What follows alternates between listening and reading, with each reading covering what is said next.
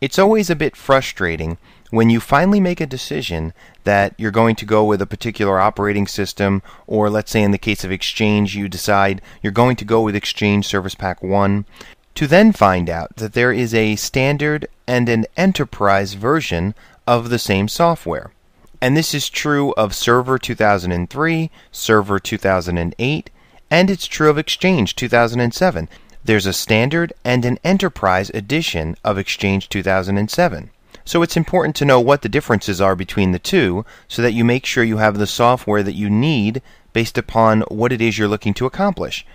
So if we look at the standard edition of Exchange, this allows the creation of up to five storage groups and the creation of up to five databases per mailbox server.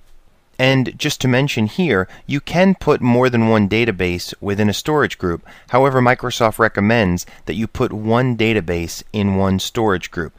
The standard edition also supports only local continuous replication and standby continuous replication. These are the only two high availability options you can use with standard edition.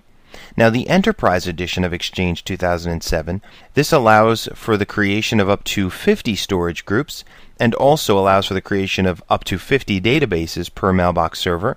It also supports all four flavors of high availability local continuous replication, cluster continuous replication, standby continuous replication, and single copy clusters.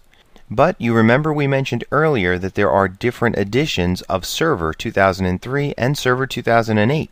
In order to use CCR and SCC, you need the Enterprise Edition of Server, which has the clustering capabilities.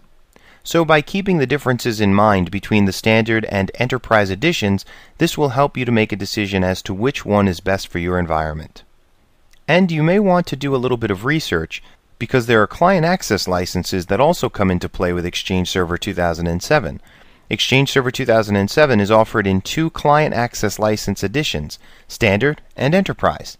The Standard provides access to email, shared calendaring, and Outlook web access but the Enterprise Client Access License is added on and provides additional features like unified messaging. A client access license is required for every user or device that accesses the server. So, along with making decisions about which edition of Exchange you need to utilize, you also have to consider your client access licenses and determine the type of client access license your users will need.